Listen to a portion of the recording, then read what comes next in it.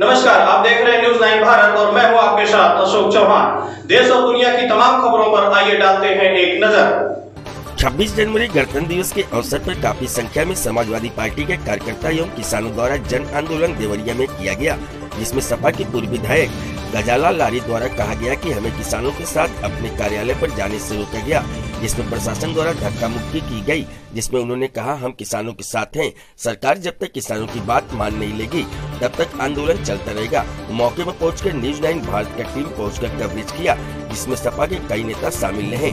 ब्रिजेश यादव, धर्मवीर गुप्ता, विजय यादव, व्यास यादव आदि लोग भारी संख्या में उपस्थित रहे। देवरिया से गजेंद्र मिश्रा के साथ सत्येंद्र राव की रिपोर्ट। के आज ये बात हो गए किसान। अगर जो बीच में कहीं से किसानों का बाज़ार में रेट बढ़ गया, उसको किसानों को नहीं दिया जाएगा। किसानों का रेट जो दिया जाएगा, वो महँगा हो गया तो नहीं देंगे। और जो घट गया बाज़ार में रेट तो उसी रेट से किसानों का पेमेंट करेंगे। ये सबसे बड़ा आज ये किसान अपनी मांग को आपका जत्था निकला हुआ है। इसके साथ क्या क्या बहुत क्या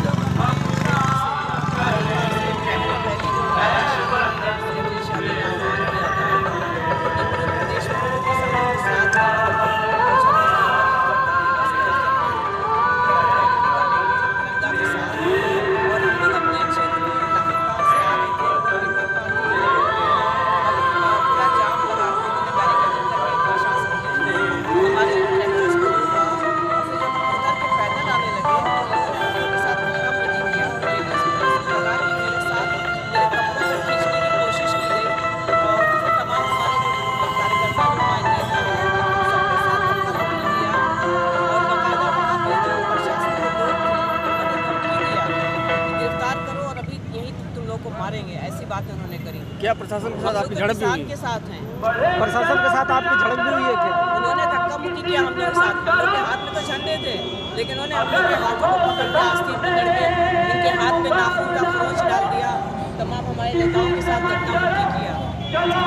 आगे की रणनीति क्या है? ये लोग किसान विरोधी हैं।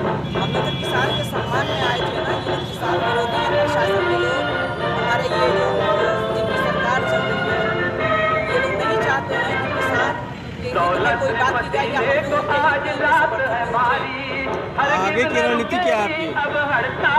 किसानों के साथ कदम से कदम से कदम मिलाकर हैं उनके न्याय के लिए हमेशा हम लोग लड़ते रहेंगे।